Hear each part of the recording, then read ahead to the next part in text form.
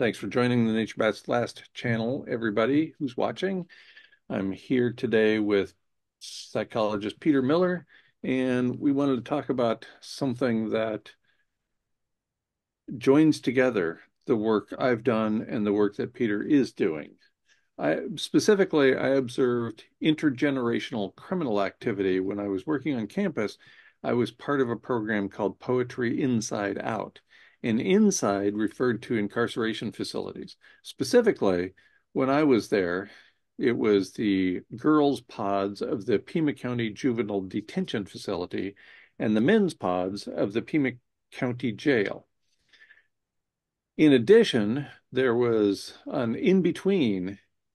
So that was the in. The out was a high school class, almost always in an English class, in which all of the students, in fact, all the students in the school, earned their way into that school because to get there, you had to get kicked out of at least three other public schools.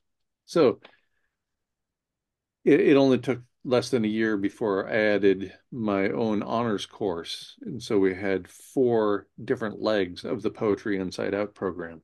And I observed intergenerational criminal activity almost all of the men in the Pima County Jail had children in the Pima County Juvenile Detention Facility, right? So, so the so-called bad people, almost all of which, by the way, were people of color, in the jail had bad people who were in the Pima County Juvenile Detention Facility.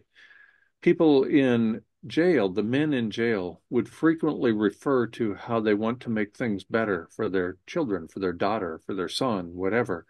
And they just couldn't see a way to do that because their lives were stuck in jail off and on and being homeless off and on and so on. So I th I thought that the this intergenerational criminal activity certainly applied to mental health. I could see it, especially depression, and the subsequent effects on the natural world were pretty evident as well. If you spend all of your time being homeless, trying to make enough money to to get into a home or in jail, if you, if you spend most of your time in in those three places, including an incarceration facility, then are you going to care at all about planting a tree in your yard in the house you're going to live in for only another three months? Are you going to pick up every piece of trash you see on the on the roadway? Are you going to get concerned about recycling? No, no, I didn't see any of that going on. And so I thought maybe since Peter is the psychologist, we could have a conversation about the intergenerational activities that occur in the world with impacts on nature, in the school system, and almost certainly with respect to the people you call your clients, right? Yeah, I think intergenerational trauma uh, could apply to uh, various subtypes and cultures.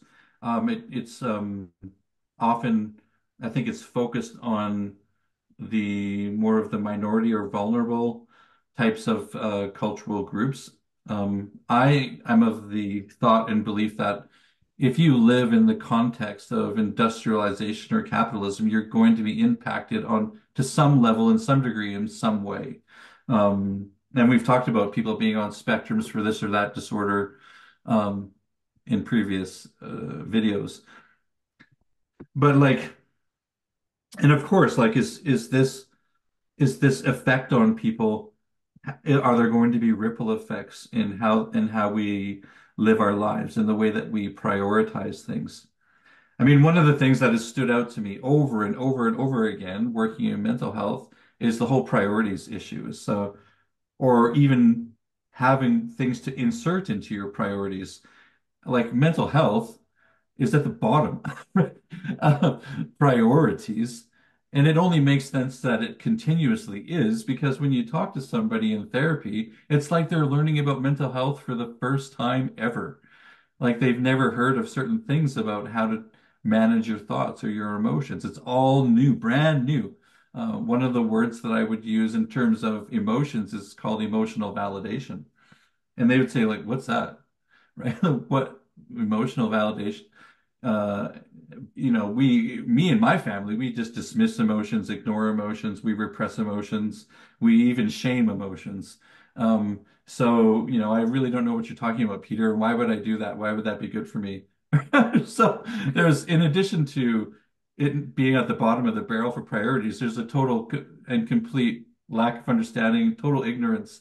Um, and I don't blame anybody for it because it's like I was the same, right? The only reason that I was able to learn more about mental health and, and be able to put out some fires in my life and manage my own disorder was because I was just I was just fortunate enough to go into psychology and to be around the right people who could explain things to me in ways that I understand them so that I could apply them to my life and put out some fires along the way. Like I, I guarantee you, if I hadn't have taken that path and learned those things, my life would have probably exploded, right? Like like so many other people's lives and their relationships and their families. Like if you don't have the skills, tools, knowledge, understanding, it's almost guaranteed. Like there's a reason the divorce rate is so high, right?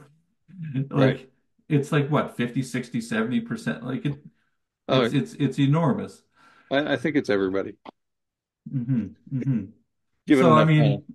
Mean, In, in this in this country, it's more than 50% after the first seven years. Right. So so if you last seven years, you're doing great. If you last 12, it's amazing. and uh there's there's underlying reasons for that that people I think don't understand or appreciate.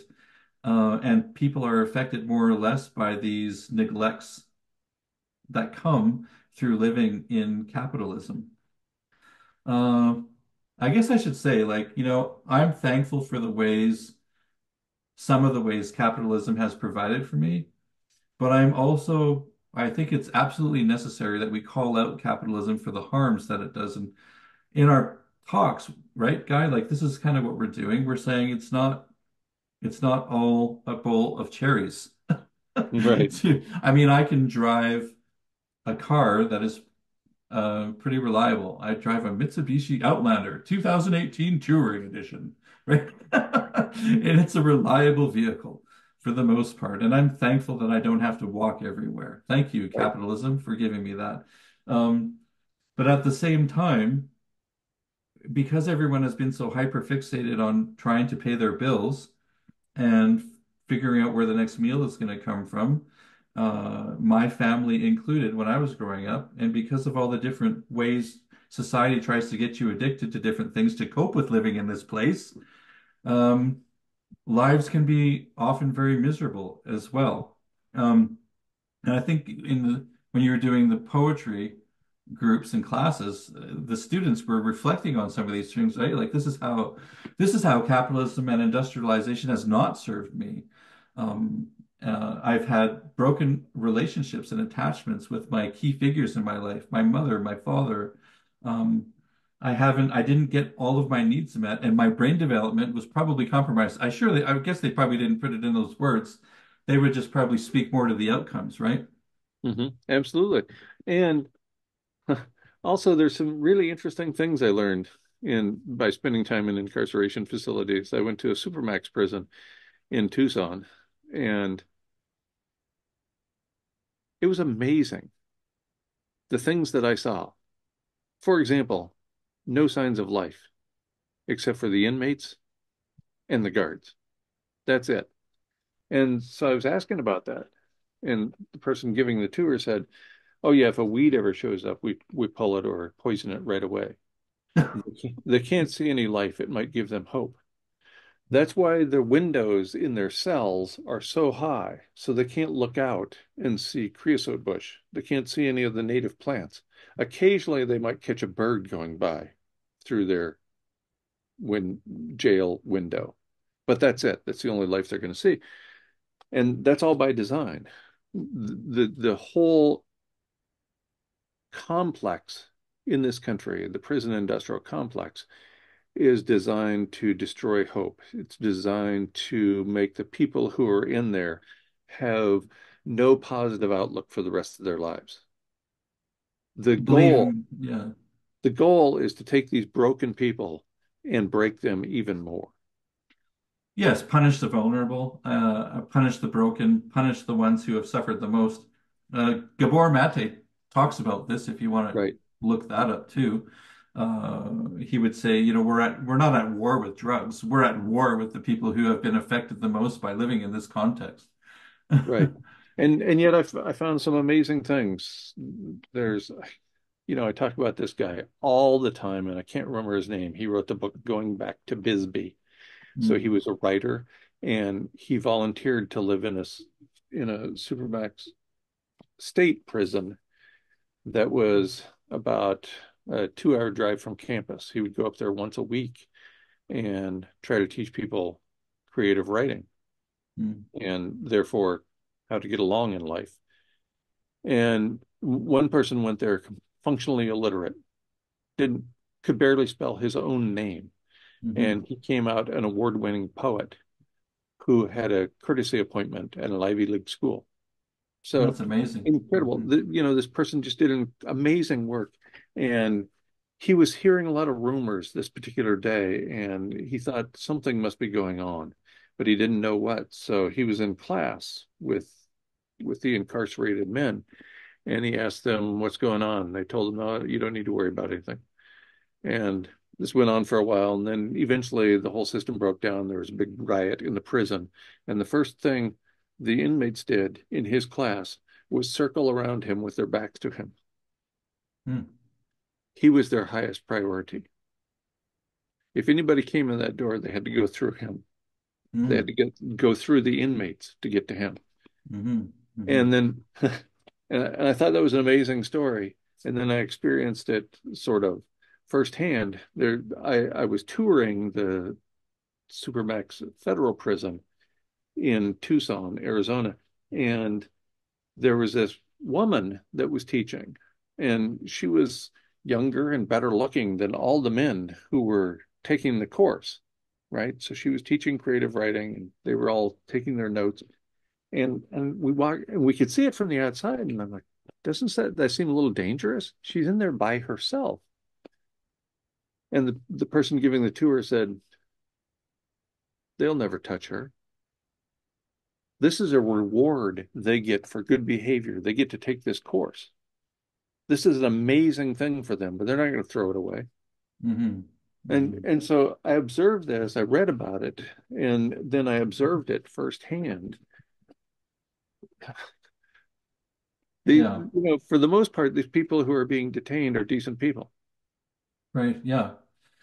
Um, I agree. I think that um, I don't think people are born corrupt. Um, when I was taking some of my studies in university, I remember I would include some pictures of humans in some of my writing.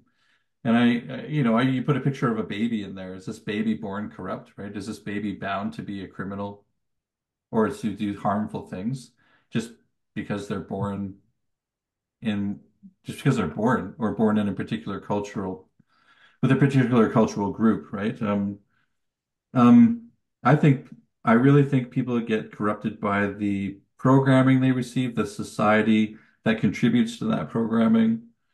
Um, I don't believe that we live in a society that nurtures optimal brain development. Um, it it fosters all kinds of lies and deceit in terms of the narratives people receive through their religious beliefs. It talks about life being a paradigm of reward and punishment, which is That's that's it, that's huge. That's huge, by the way. Let's not just let that go. yeah, let's say more, okay? Yeah, this this whole idea that the entire culture is centered on rewards and punishment, and especially punishments. How screwed up is that? If if you wanted to design a system, say I were to give you or you were to give me 3,000 people, mixed races, mixed gender, mixed everything, right? And and how how am I going to design a society, a, a town? How am I going to put together the the town culture so that it benefits everyone? It wouldn't be like it is today. Well, Whatever whatever I came up with, whatever you came up with, it's not going to look anything like it does today in a group of 3,000 people or 300 people. nope, nope. Uh, and and this is still, I think, what prison systems they largely rely on in terms of philosophy. Like, how do you make a better citizen, right? Or how do you rehabilitate is the question, right? So you deprive them of mm, the most important relationships, keep them segregated, separated. Um, you you inflict a whole bunch of shame when you write reports about them. And I know this for certain because I worked in the jail system briefly, and I wa and I and I listened to the reports that parole officers would write, and they were just shame. It was just painting the person black, uh, black in terms of bad, right? Right. So they would. The idea was to shame the crap out of them, so that they would be like feel awful. And so to make a better human, you try to make them feel awful. To make a better human, you take away as many of their liberties as possible. Uh, to make a better human, you punish them in all sorts of ways. Um, I don't know if you've ever read any of the research of B.F. Skinner, a behavioralist, and he's a godfather, one of the godfathers, right, of psychology. And I'm pretty sure in his literature he proved that punishment does not work. Right. Pu- Punishment does not work for and he teaching teaching anything. and he did lots of experiments, by the way, He did. Focused on punishment. he did. Oh, Uh, and I'm pretty sure it was conclusively proven that punishment does nothing to help a human be a more skilled, uh, enlightened, productive, whatever human, right? It doesn't work. It might suppress behaviors temporarily, but it doesn't teach anything new. right. And and I think the most important thing, the most important emotion a human being can learn is empathy. And I don't think it can be taught. I think people can learn empathy, but I don't think it can be taught. I don't think I could spend a thousand hours in a classroom scratching away on the board or whatever, and I don't think I could teach empathy, but I think people can learn it. And I think it's really, really important because if I don't have empathy for people who don't look exactly like me and behave exactly like me and have exactly the same amount of money that I have and so on, then how can we improve society at all? I think it has a lot to do with the mother-child relationship, which is often disturbed in capitalism, um, because the mother has to go off to work or whatever, or the mother doesn't know anything about mental health or how to be a better, healthier parent, uh, because they were never exposed to that information or they don't have the time to learn it. Um, but I mean, if it's modeled to you at the right developmental stage, empathy, compassion, and especially the mother showing compassion to the child. See, I'm showing you compassion. I put my arm on your shoulder. I listen to you. I understand you. So then you're more you're more able to give it to yourself and to others as a result of that experience. But how many kids get to have that experience with their mothers um, and fathers? Like, but primarily the mother. The mother, I think she can deliver that the mo- in the most powerful way. How many kids are deprived of that mother attachment, emotional learning, modeling. How many kids? Almost almost all of them in this country, right? I, I never had that kind of positive relationship with my mom. Uh, it's and I, I I I like to give mothers the benefit of the doubt. I would say, well, you you didn't know any better. You never got to learn because it was never taught to you, right? And so this is sort of the heritage of capitalism, isn't it? It's a Yes, her it's a it's a heritage of coldness. It's a heritage of distance. It's a heritage of uh, emotional neglect, uh, and then and then also subsequently thinking that it's normal. It's normal to like suppress your emotions and to not work with them and to have no relationship with them. It's normal to be uh, to to be cut off from that part of yourself. It's normal to experience the consequences. I'm, everything I'm saying is not normal, right? Right, right. And we've talked about this before. The the society, the culture in which we are embedded is completely mismatched to how we want things to be with the with the society, with the with the town, with the culture, with the community that we want to be part of. No, it's it's hyper individuality. It's uh basically it's anti-community, I think, even though people claim to be in communities. I don't know if they're if they're actually maybe in some situations briefly they would act as as a community. Um, but I mean, why would you have latchkey kids wandering with that, without anybody except for their friends who are only available sometimes? Why would you have latchkey kids if there was a community that they could turn to? You, Why would you have any community that requires latchkey kids? Think about that. That Mhm, requires kids to go home alone at the mhm, end of their school day and spend the next two hours or so mhm, mhm. in in, in Lord of the Flies. So all that the kids have, and Gabor Mate talks about this too, all that the kids have is the other kids. If you don't know anything, right? All that they have is the other kids, and probably they and their electronics, right? And now that we're not 15 years old anymore, we can look back and see that 15 year olds are not the best models for the lives of our children. No, It, seemed like a good idea when we were 15, but wow. right. So I, so I think this actually goes, I mean, this we can really dig deep with this. I mean, if you have this neglect that you call normal uh, through millions of people, and these people they don't have a healthy relationship with their themselves, um, which in turn leads to other problems, disorders, uh, difficulties being in relationships, unnecessary stresses. Um, then people are going to look for ways to get relief from these neglects and these stresses.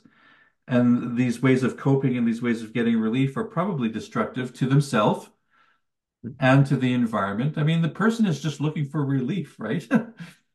They need some relief from their suffering. So that's their priority. Their, it's, their priority isn't to think in intellectual ways, how can we make the world a better place?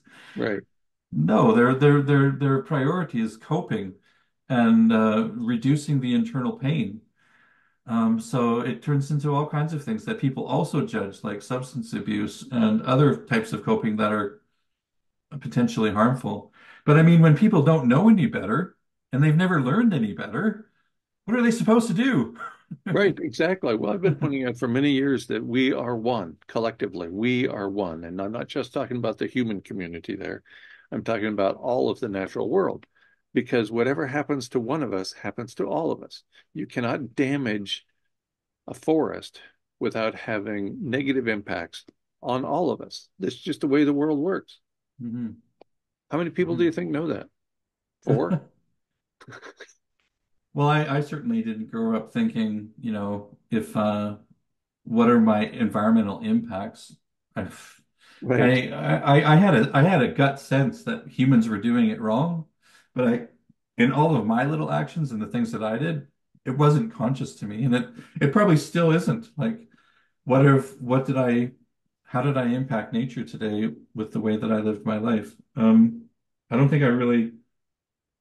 That that must be something that has to be trained in a person, right? Like how to ponder that. Like Yeah. Well, how how how do my actions affect the world around me? yes, you have to think about your role in the universe. You have to think about as an individual, why am I here? What am I doing here? How can I improve the world? How can I improve my life? Right? Right. These are these are deeply thoughtful questions that are not allowed in the public school system in this country. Wow. We're not allowed, or it just isn't it isn't brought into the It into the educational process at all, like it's not you just said. it's not in the federal standards for teaching in public schools. It's not in the state standards for teaching in public schools. There, we focus on exactly two things in the public school system in this country, and that's by design. And it goes back to the late 1800s when the federal government decided that we should focus on two things: mathematical, logical, and linguistic. Those are two of 10 different kinds of intelligence, Mm, as pointed out by Howard Gardner in his hmm book, The Theory of Multiple Intelligences. And he points out that we only by only focusing on a very thin slice of the kinds of intelligence, we ignore things like interpersonal communication. That's communication between me and another person, interpersonal. And there's also intrapersonal. What is my place in the universe? What is my role in my society, in my community? Those are the kinds of the things that we are not taught to think about in the public school system. We're, we're, Uh, taught to, we're taught to speak English, and, and the English we speak is completely different than the English you speak because you put in all those extra U's in words like favor and and extra S's when we use Z's. And I don't, I don't know what's going on there, but but and what oh. about environmental intelligence? oh, not even a thought. Not a thought is given it. Think about when when people were seriously thinking about this in the late 1800s. Nobody was thinking about saving the world. Nobody was thinking about ensuring that the forest that's here today is also here in 100 years or 200 years. No, it was all about exploitation. Capitalism was in first gear by then, but we ramped it up a lot since then. And calling it normal. I guess I want to keep saying that. So leaving all these things out, just ignoring important parts of our intelligence, calling it normal. Uh, saying that, you know, if something happens as a result of your capitalist enterprise or ambitions, it's not to be of concern because you are, don't worry about that. You're helping the economy. You're helping people get jobs. Don't worry about the, don't even think about other things. All that matters is that you're helping build an economy, get people jobs, right? Uh, you're the good guy. You're the good guy. So, And and not only that, the metric we use for evaluating the economy and how it's doing is these stock market indexes, right?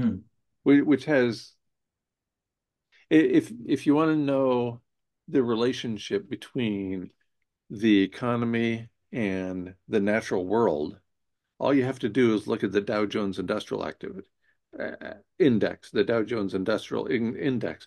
For every tick up, that means we destroyed a few more acres, a few more hectares.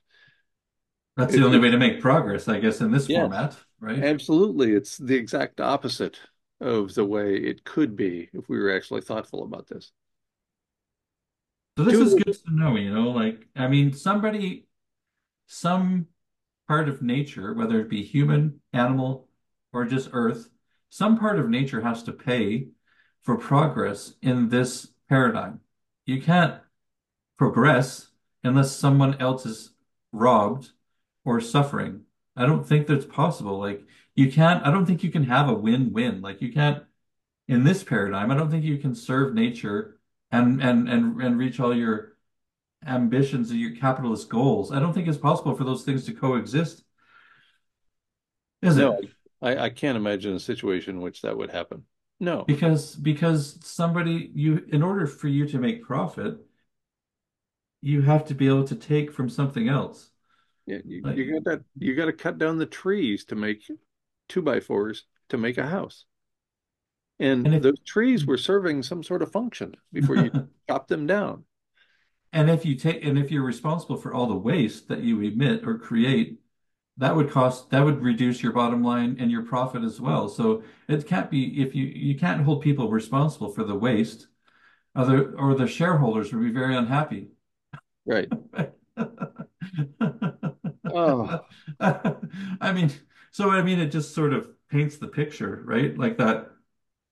And I hope as people are hearing this that you realize that you're so you were born into this framework. You didn't know how it was harmful.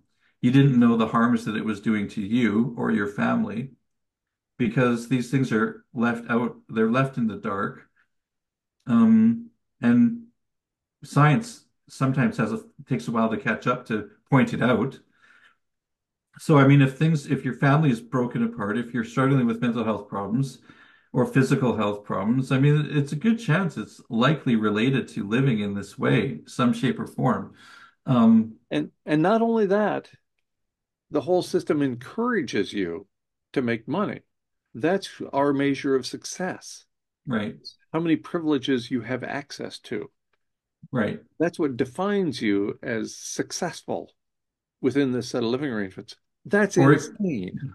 or actually, it even goes further than that. I think it's that you have the privilege of existing if you can if you can um, bring money into the system or generate money making, something like that, right? Like if you're homeless, if you don't have an income, if you're not producing, I think you're pretty much considered like irrelevant or Yes. uh Or worse, or you're a burden. You're a burden on the system, right, right. right? Yeah, My my tax dollars have to go to make sure you get a meal every two days, right.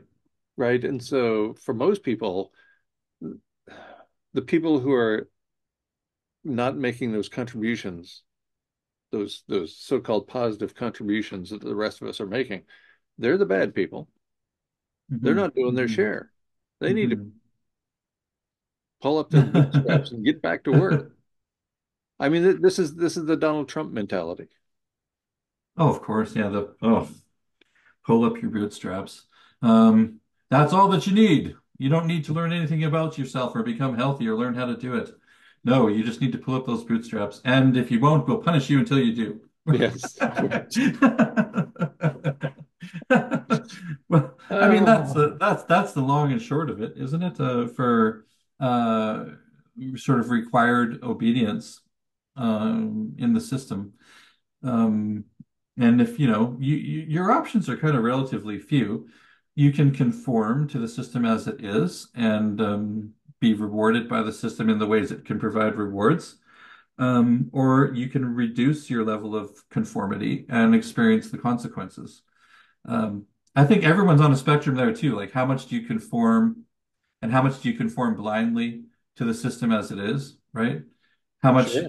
how much do you um, how much do you advocate? How much are you a cheerleader for the for the system as it is? How much do you recognize the consequences?